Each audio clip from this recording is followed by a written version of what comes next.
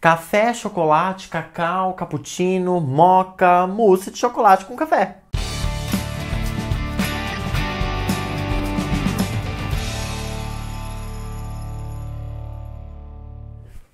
Gente, que tal? Fernando Marino aqui. No vídeo de hoje a gente vai fazer uma receitinha maravilhosa, mousse de chocolate com café, hoje usando cacau em pó, maravilhosa, dá tempo ainda de você fazer pro seu pai, se você quiser, hoje à noite mesmo, amanhã cedinho para esse evento maravilhoso.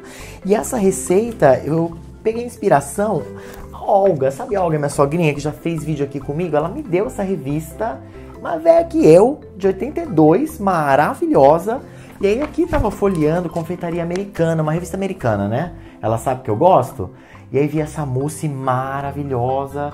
Falei, por que não a gente fazer ela aqui rapidinha? Eu fiz algumas alterações, mas é isso daí, vamos lá. Segura na minha mão. Primeira coisa que você vai precisar fazer é peneirar o seu cacau numa tigelinha média, não precisa ser muito grande. Aqui eu tenho meia xícara, 48 gramas de cacau em pó. E eu tô usando metade do alcalino, metade do natural. Você pode escolher, tanto faz, os dois funcionam. Coloca aí também um quarto de colher de chá de sal, um graminha. E muito importante peneirar o cacau porque tem muito grumo, né? Como dá pra ver aqui.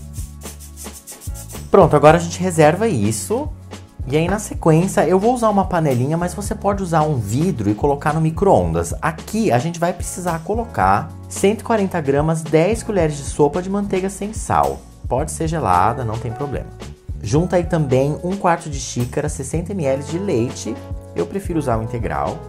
E também 6 gramas, uma colher de sopa e meia de café instantâneo granulado, que vai dar o tom aqui do nosso café. Fefe, não gosto de cafeína. Tudo bem, você pode usar essa versão aqui descafeinada, super funciona também. Agora, se você detesta café, não tem problema. Aí é só você omitir, a receita vai ficar super gostosa também. Agora a gente leva isso aqui pro fogo. Liga aí o seu fogo, médio baixo, mais ou menos. E a gente vai derreter isso daqui, esquentar, né? Diluir o nosso cafezinho. E se você estiver fazendo no micro-ondas, aí você coloca lá e aí você deixa ele derreter, pode parar, mexer no meio, até ficar quente aqui. Aqui eu vou deixar chegar no ponto de fervura e aí a gente vai desligar. Olha aqui, gente, chegou em ponto de fervura, então tá bom, a gente já desliga. E aí imediatamente a gente vem e despeja na nossa misturinha de cacau. Aí agora a gente já mexe. É isso aí, agora a gente reserva. Agora a gente vai bater gemas com açúcar. Você vai precisar colocar numa tigela de vidro ou inox quatro gemas. E a primeira parte do açúcar, que é meia xícara, 100 gramas. Agora a gente já começa a dar uma mexidinha. E aqui fouet, tá, gente? Muito importante nesse processo usar um batedorzinho de arame maravilhoso. Tá legal, incorporou. Agora a gente vai levar essa tigela para um banho-maria.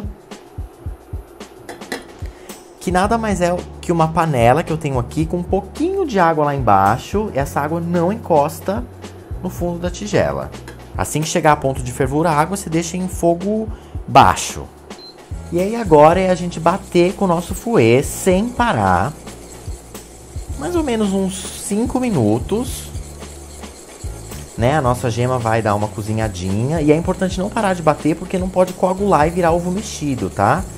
Mas a gente quer que isso aqui cresça um pouco de tamanho e fique com a coloração bem clarinha. Vamos lá.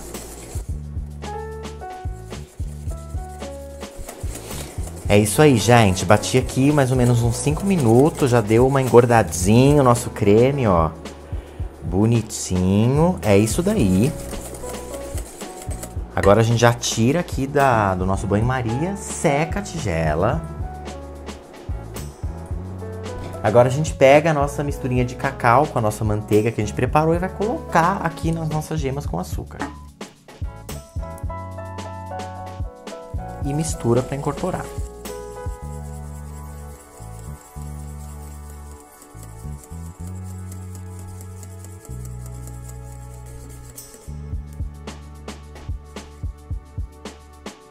Maravilhoso. É isso aí, gente. Fouet de novo, vou falar, muito importante para fazer isso aqui, tudo de bom. É isso aí, gente. Raspei as laterais aqui bonitinho, né? Pra não ficar nada craquelado. E agora eu vou levar isso aqui pra geladeira, porque a gente vai terminar de fazer os outros processos. E isso aqui não pode estar quentinho na hora de a gente misturar as outras coisas. Então é isso daí, leva pra geladeira e aí na volta a gente vai começar a preparar o nosso merengue maravilhoso. Próximo passo a gente vai bater o nosso merengue. E se você já acompanha o canal há algum tempo, você sabe que o batedor e a tigela da sua batedeira tem que estar bem limpinhos, porque gordura vai fazer com que as claras não cresçam ao máximo volume, que é o que a gente quer na verdade. Então, se você não tem certeza, lava os dois de novo, ou então seca com pano limpo, ou então passa um paninho papel toalha com vinagre nos dois, que isso vai ajudar a eliminar gordura. Prefira tigelas de vidro ou inox, porque elas não retêm gordura residual. Na sua tigela bem limpinha, você vai colocar três claras em temperatura ambiente. E para estabilizá-las, a gente vai colocar um quarto de colher de chá, um graminha, de cremor de tártaro, que é um salzinho ácido.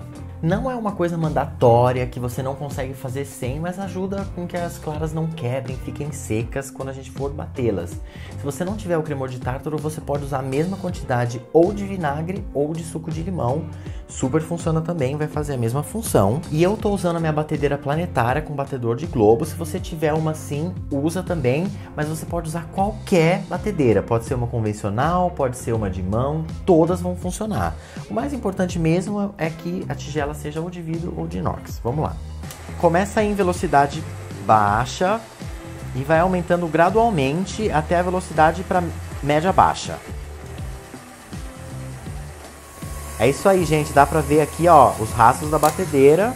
É bem rápido, tá? Não demora nada. E dá pra ver aqui que a gente tem esse piquinho, ó, bem molinho, tá ótimo. E aqui eu tenho a segunda parte do açúcar, são outros 100 gramas, meia xícara. E a gente vai ligar a batedeira em velocidade média e adicionar ele então de colherada em colherada para não sobrecarregar o merengue. Vamos lá.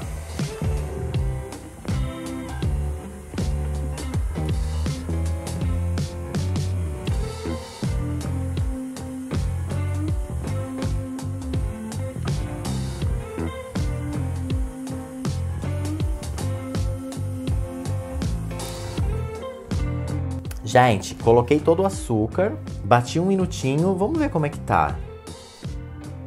Faz o teste do dedinho, ó, tô sentindo só um pouquinho do açúcar. Bate mais um pouquinho, tá?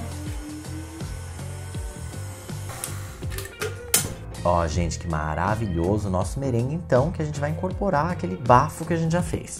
Pronto, gente, voltamos com a nossa misturinha de chocolate. O tempo de fazer o merengue já foi suficiente para chegar numa temperatura boa aqui, já não tá mais quente. E agora a gente vai incorporar o merengue aqui. Eu gosto de usar tanto uma espátula quanto um fouet, às vezes eu uso os dois. Você pode escolher aí, o importante é mexer com suavidade agora, porque a gente não quer perder nenhuma aeração. Aqui, super opcional, vou colocar meia colher de chá de extrato puro de baunilha. Você pode pôr um pouquinho a mais se preferir.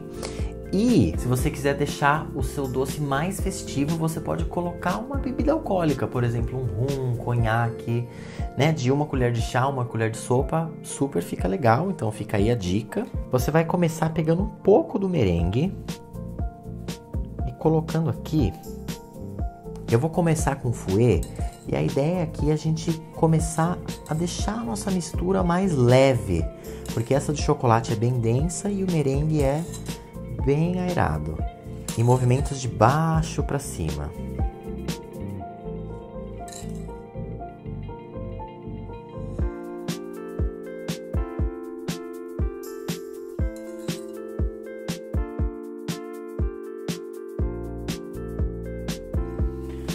Maravilha, gente. Agora a minha última adição de merengue. E foram quatro totais que eu fiz aqui, tá? Só para referência aí.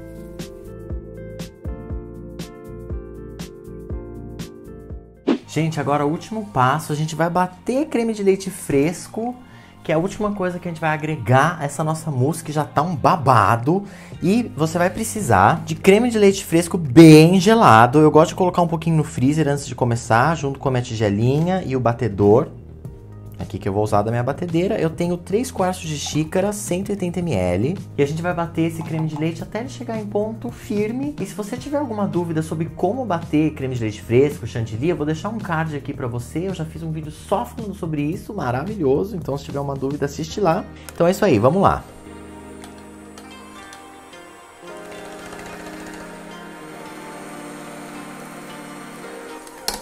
É isso aí, gente. Tá ótimo assim. Agora volta a nossa mousse e a gente vai só incorporar isso daqui aqui. Duas a três adições. Mesmo processo. Vamos lá.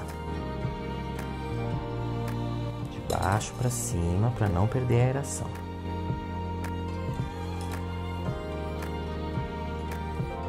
Última adição do creme.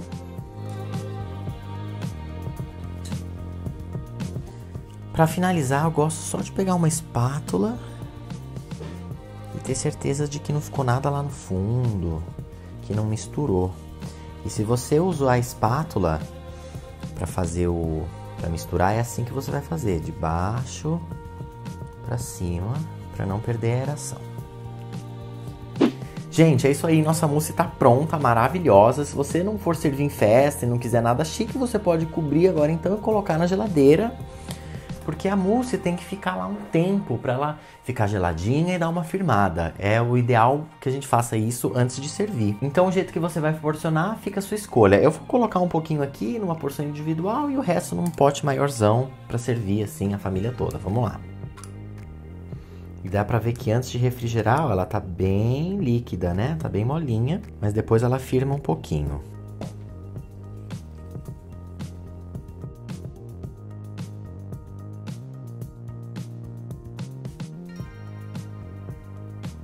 Bom, gente, é isso daí. A sua mousse está pronta. Então a única coisa que falta agora é refrigeração. Então geladeira nelas por algumas horas para ela ficar geladinha e dar uma firmadinha antes de você servir. É isso aí, vamos lá.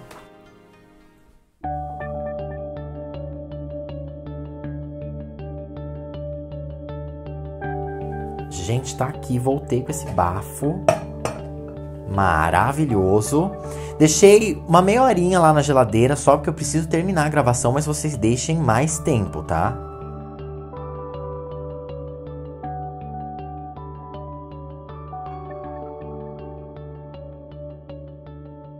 Gente, então isso daí, decoramos com um grãozinho de café, com folhinhas de hortelã. Você pode fazer outro tipo de decoração, você pode pôr frutas vermelhas, você pode pôr chantilly no saco de confeitar, bater mais um pouquinho, fazer uma graça, fica tudo de bom. Eu vou experimentar esse daqui, que já tá um pouquinho mais gelado que esse, esse demora mais tempo, claro. E é isso daí.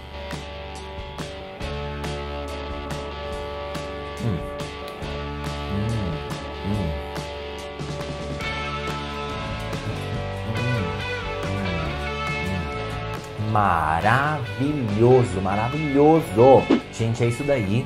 Eu espero que você consiga fazer rapidinho isso daí pro seu pai, se for o caso, mas se não também tudo bem, mousse é bom sempre, qualquer hora. Pode omitir o café se não gostar de café. E gente, estamos chegando nos 50 mil inscritos aqui no canal, você tem noção? Estamos chegando também no centésimo vídeo, então a gente está preparando algumas surpresinhas aí para vocês, para essa comemoração. Então fiquem ligados, fiquem de olho nos próximos vídeos. Então é isso daí, se você gostou desse vídeo, deixe esse like compartilhe compartilha esse vídeo também, assina o canal se ainda não fez. E eu vejo vocês no próximo vídeo.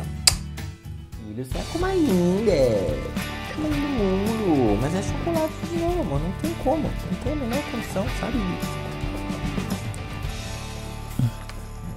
Chama tanto, só com uma linda, claro, com uma linda.